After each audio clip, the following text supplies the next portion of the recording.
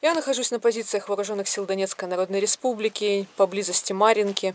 Также одно из горячих направлений на линии соприкосновения на карте Донецкой Народной Республики. Я сегодня пообщаюсь с бойцами, узнаю, какая обстановка на этом участке фронта, насколько ребята готовы к возможным военным действиям и насколько они готовы.